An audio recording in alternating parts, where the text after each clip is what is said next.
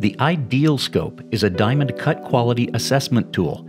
Its translucent cone and magnifying lens create a structured light environment which, when placed over a diamond, shows brightness, leakage, and contrast. Depending on how it was cut, light entering a diamond will either reflect and come up to the viewer's eyes as brightness or escape through the bottom as leakage or windowing, causing dark areas. When placed over a diamond, light passing through the ideal scope's cone turns red. Light that reflects inside the diamond and travels up is brightness. A viewer looking through the lens will see bright areas as red. So, in ideal scope cut quality assessment, brightness is red. Alternately, if light escapes through the bottom of the stone, that's leakage. It means the facets are acting as windows instead of mirrors. A viewer looking through the lens sees through the bottom of the diamond.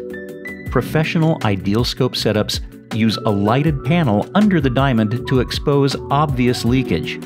So, in ideal scope cut quality assessment, a viewer will see leakage as white or light pink. That brings us to contrast.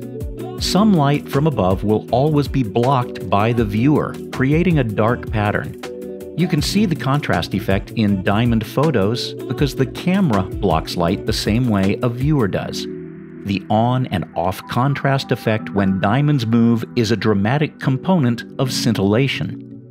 In ideal scope cut quality assessment, the contrast pattern is black. Now let's see ideal scope in action. Check out these stones. Under jewelry store spotlights, they both seem big and bright.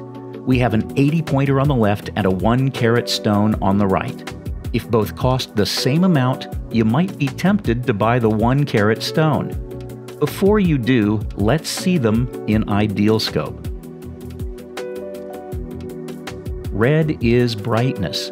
The stone on the left shows red from edge to edge and all across the center.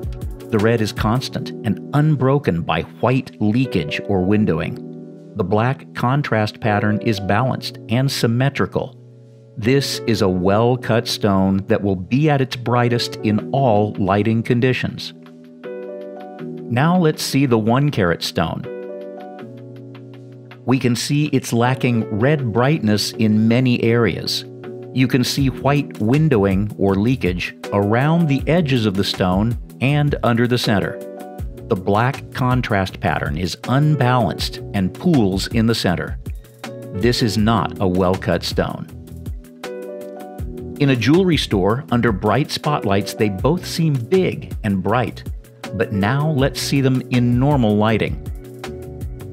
Here, the deficits you can clearly see in ideal scope become apparent the 1 carat stone loses brightness at the edges and now it appears visually smaller than the 80 pointer, even though it's physically larger.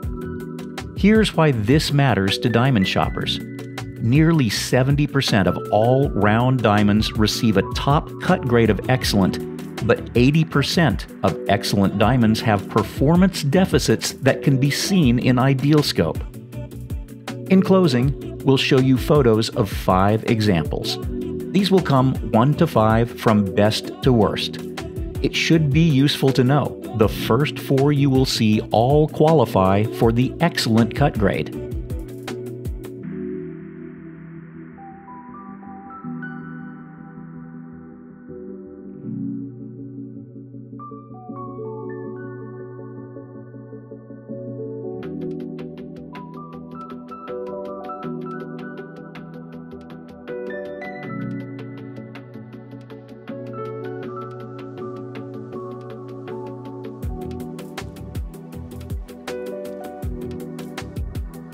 With ideal scope analysis, you can easily tell which are reliably bright and dynamic and which suffer from leakage and brightness reduction.